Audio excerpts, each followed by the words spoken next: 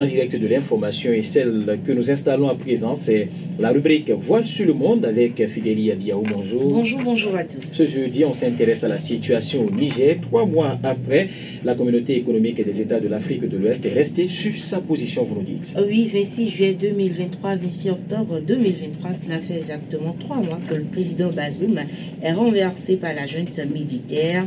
Il a été séquestré par la garde présidentielle. L'armée a donc consacré le bâtiment euh, de résidence de Bazoum. Dans la soirée, un autre groupe de soldats annonce sa destitution et la formation d'une junte militaire sous le nom de Conseil national pour la sauvegarde de la patrie CNSP. La junte a aussi décrété la fermeture des frontières du pays, la suspension des institutions étatiques de la 7e République et un couvre-feu sur tout le territoire. Le coup d'État a conduit à une crise régionale. Le 31 juillet, les dirigeants de la communauté économique des États d'Afrique de l'Ouest, CDAO, euh, se sont réunis sous la houlette de Bolatine le président nigérian, et ont fixé un ultimatum à la junte militaire la CDAO a exigé la libération de Bazoum et le retour à l'ordre constitutionnel dans un délai d'une semaine, ce qui n'a jamais été respecté par la junte militaire au Niger.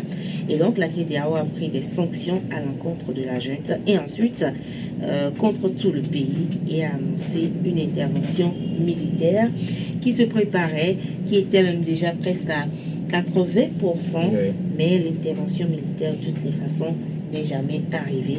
Retient que la CDAO reste, est restée sur sa position, la libération de Bazoum et le retour à l'ordre constitutionnel. Et malgré tout ceci, vous nous dites euh, que le président déchu Bazoum est toujours en séquestration. Ah oui, il n'a pas été relâché. Cela fait trois mois qu'il est séquestré. Ses proches, ses avocats ont plusieurs fois dénoncé les conditions arbitraires dans lesquelles il est détenu mais quand même, il a pu rencontrer au moins une fois son médecin.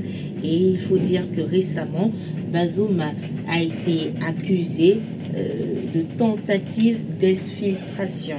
Le président Bazoum aurait essayé de s'enfuir, mais euh, ses avocats ont, après quelques heures, démenti l'information et parlé d'une fausse accusation et dénoncé par la suite les mauvaises conditions dans lesquelles le président nigérien est et avec toutes ces explications, cette situation, euh, de ces, euh, toutes les implications, j'avais dit, de cette situation-là, ce sont les populations du Niger qui souffrent. Oui, et puis vous savez, les sanctions de la CDAO touchent beaucoup plus les populations parce qu'on parle par exemple de fermeture de frontières avec le Bénin, c'est un exemple parmi tant d'autres. Le trafic ne marche plus, les Nigériens, les Nigériens ne peuvent pas facilement se rendre au Bénin pour les activités commerciales, vice-versa. Les investisseurs sont désormais réticents, ne veulent plus investir dans le pays, ne veulent plus y aller parce que la, la situation n'est pas stable.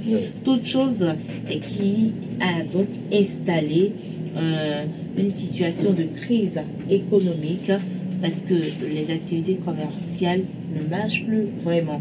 Et la plus grosse conséquence, c'est la fermeture de la frontière et avec euh, les camions qui sont stationnés à la frontière, les oignons qui pourrissent, les pommes de terre qui pourrissent et tout. C'est beaucoup de manque à gagner pour euh, les commerçants et ça voudra dire que les populations sont touchées. Même le, grand marché, euh, les, grands marchés au Niger ne sont plus autant fréquentés. Ça voudra également dire que les dames commerçantes, les revendeuses n'ont plus assez de clients.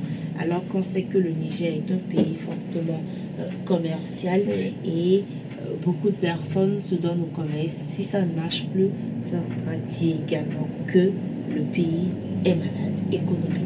L'économie qui tourne au ralenti. L'économie tourne au ralenti. Quoi qu'on dise, ce sont les populations qui souffrent de, de, de cette situation-là et non tout, tout simplement, c'est la conclusion. La population nigérienne qui est donc victime de ce coup d'État. Merci Fidélia Bia, vous allez rester d'ailleurs avec nous. Ensemble, nous allons suivre le reportage Focus